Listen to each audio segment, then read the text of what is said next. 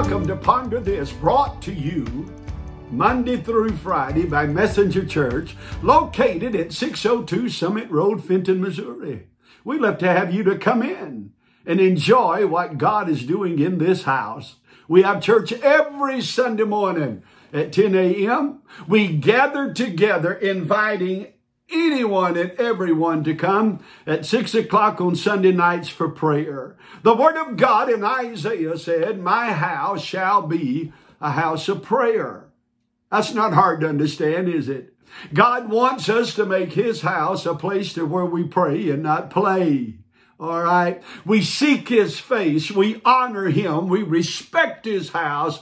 We honor his presence. And so we invite you to come. Also on Wednesday nights, we have word studies with pastor where I walk you through the word of God at seven o'clock and spend about 45 minutes in that word sharing what God has birthed in my heart. We love to have you. If you want more information about us, you can go to messengerchurch.com All right. Also, we do we do stream our Sunday uh, AM service at 10:30 every Sunday morning. So join us for that. All right. Let's get into our seed thought. Well, we'll have uh, something to ponder on for the next little while. It takes time, energy, and effort to prepare and preserve what is good but for the future of the following generations, we must persevere. Never, I say never give up. The end results will be worth the labor. Now, now what I'm, I'm wanting to target there and what I want you to see there is the extreme need or necessity of living out our life for God of living out our Christianity, all right, as the Word of God dictates. All right, it does take energy.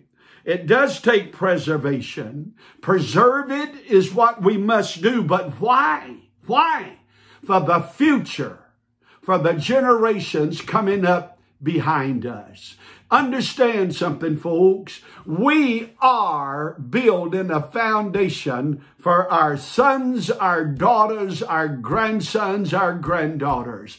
How we live, how we talk, how we walk, how we act is a, a directive for them, for we are to be the example of godly living, the example of faith.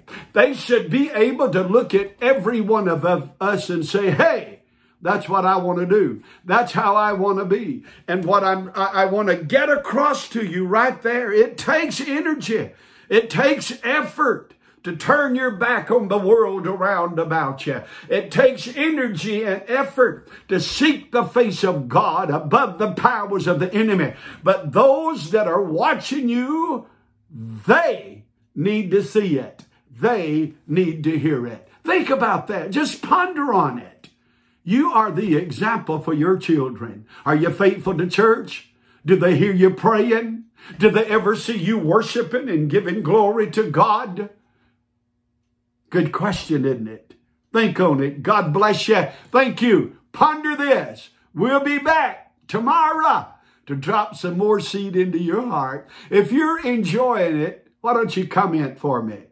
And then share what you've heard today. That some of your friends and family that may not follow me, they will and are following you, and they can be blessed by God's word. I love you and Jesus loves you. Goodbye.